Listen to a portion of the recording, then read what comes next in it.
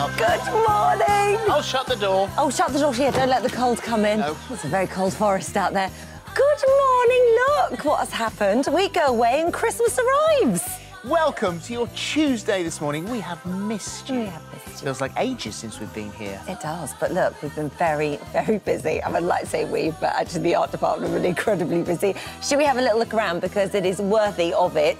22 Christmas trees here, the ones we've been using for the last seven years, guys. Yeah, all of our paper chains have been handmade using recycled, Recycled wrapping, paper wrapping from last year's set. Uh, also, what have we got here? We've got not one, we've got two fireplaces, mantles, and chimney breasts. They're back. They've been here before. They have. They have. We've got two Nutty the Nutcrackers. Oh. They're from White Stores. One is an old one. I'm afraid one is a new one. Um, It's and, okay. uh, the thing is, with decorations, you buy you these add, things you and add you to add it. to it. You add to it. Well, You they're flanking them. the fireplace on the grotto. And then we've got a pineapple set. You know, we love a pineapple here on this morning. Well, this year, Father Christmas is feeling a little bit fruity and he's holding a mini one. Although proportionally, it's a massive one. You'd be, know, it's amazing how we find this pineapple stuff, isn't it? Really, It does- how extraordinary how much pineapple stuff there is out there to I know, get. If it's out there, we'll find it. Yeah, if you think we've gone a bit early, think again. Sunday was the first day of Advent. Um, we've been doing a, a little bit of digging. The date it starts changes every year, but it always begins four Sundays before Christmas Day. So this is okay. And also, if you're not happy with that explanation, then consider this.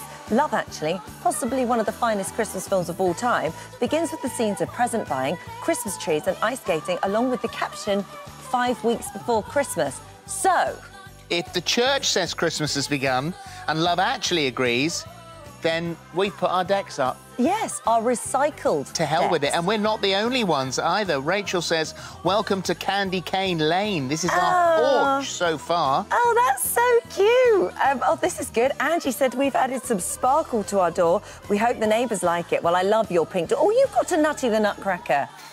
Is that last year's too? Well, Debbie says, Here's my front door. It's like walking into a present every day. Oh, that's lovely. They've done a, a big bell on the front of Television Centre. It's lovely. Yes, yeah, I've seen it's it. really nice. Very nice. Claire says it took us six hours to do the tree and we used a thousand baubles. A thousand! That's mad. Wow. Uh, Carol says this is our very traditional tree with baubles spanning Oh. over 60 years from families past and present. That's nice when you can use things. And we've still got stuff that my folks had on their tree. Yeah, yeah, I've got some of I my think. Mariah's given up. Oh, oh. Play it She's- again. She's had enough. Recycle, Mariah.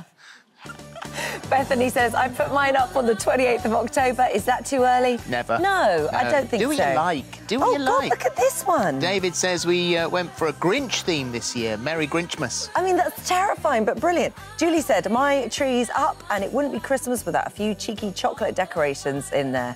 I know. Well, I can't, do you know what? Now we've got the dog, I can't put chocolate on the tree. Can't you put it high up? Yeah, but do you know what? She might end up up there. Really? Well, I don't know.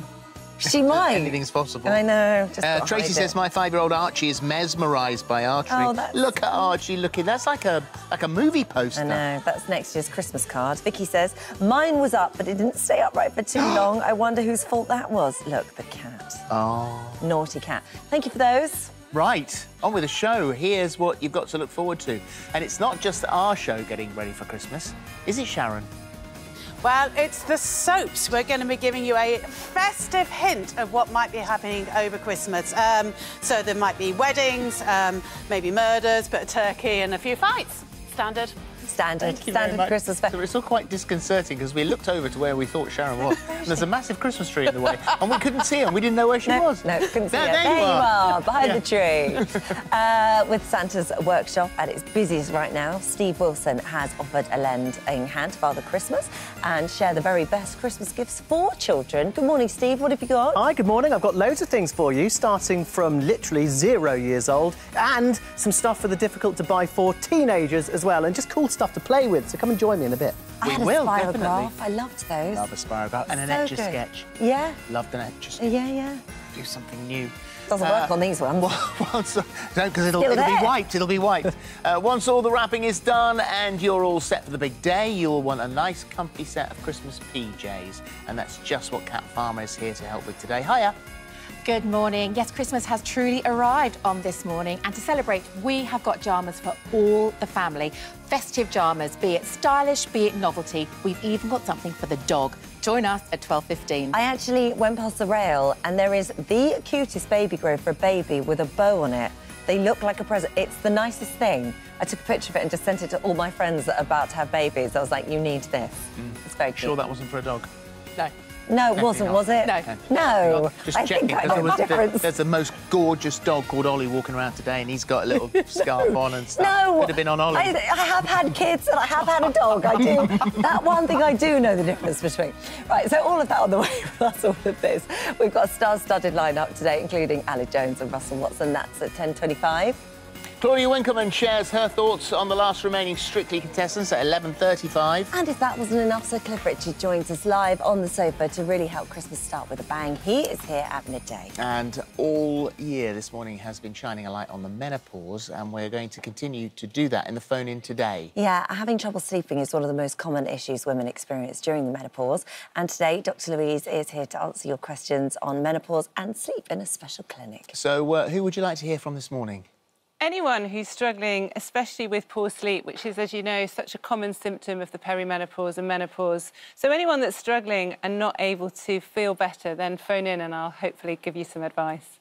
Thank you very much. That sounds very good. Give us a call for free on 08000 30 40 44 or download our free This Morning app to get involved. Please get in touch by 11.15 today and you must be 18 or over. Before all of that, though, we're